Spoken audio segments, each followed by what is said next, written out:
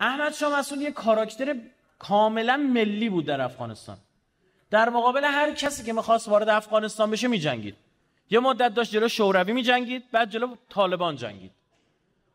شما سنتون اجازه نمیده. ما هم بچه بودیم موقع خیلی هم سن سال نداشتیم. اما شوروی وارد افغانستان شده بود. این نیروهای مسلمان افغانستانی داشتن با اینا میجنگیدن. اصلا دلیل شگیری طالبان و القاعده همینه. آمریکا برای اینکه شوروی رو از افغانستان بندازه بیرون آمریکا القاعده رو ساخت.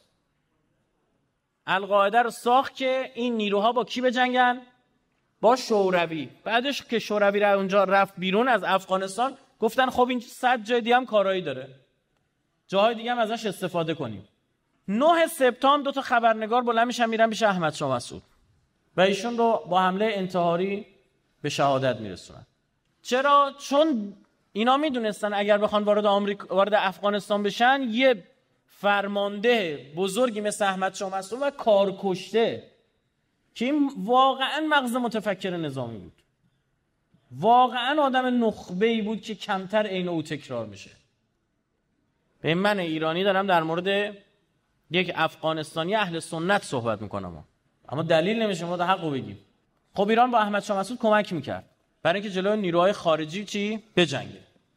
حالا اینجا یه نکته وجود داره. 9 سپتامبر احمد شاه مسعود رو می‌زنن. 11 سپتامبر این قصه هواپیمای برخوردشون به برجای دوقلوی تجارت جهانی پیش میاد حادثه معروف 11 سپتامبر. و به بهانه اون حمله میشه به افغانستان. 2001 می‌بینید؟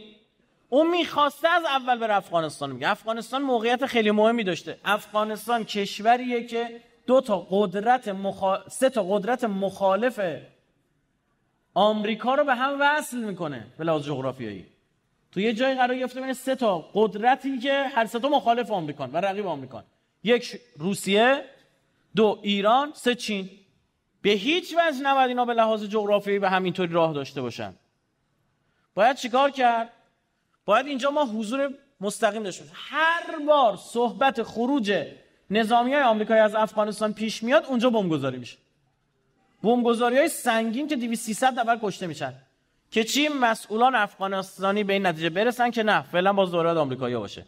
و می‌دونن هم کار آمریکاست یعنی چی؟ یعنی باج تو بده. همینی که هست. اینا زورگو هن. الان دید زمانی که دولت پارلمان عراق تصویب کرد که رای آمریکایی از عراق باید خارج بشن بعد از ترور حاج قاسم ابو مهدی مهندس؟ رسما پومپئو سفر کرد وزیر امور خارجهشون به عراق و با نخست وزیر عراق صحبت کرد با عادل عبدالمهدی. گفت اگر ما رو از اینجا بندازید بیرون ادامه بدید این رو کارتون رو حسابای مالی نفتیتون رو تو آمریکا میبندید زور دیگه. بگه آقا آخه نمی‌خوام تو کشورم باشی برو بیرون. نه اینجوری نیست. مگه میشه ما عراق ول بکنیم؟ عراقی که کلی تولیدات نفتشه. عراقی که مرز ایران با سوریه است. مگه میشه ما لحاظ جغرافیایی اینو ولش بکنیم؟ عراقی که با عربستان سعودی مرز داره. هم یعنی موقعیت جغرافیاییش و هم انرژی. میشه این سادگی ول بکنن؟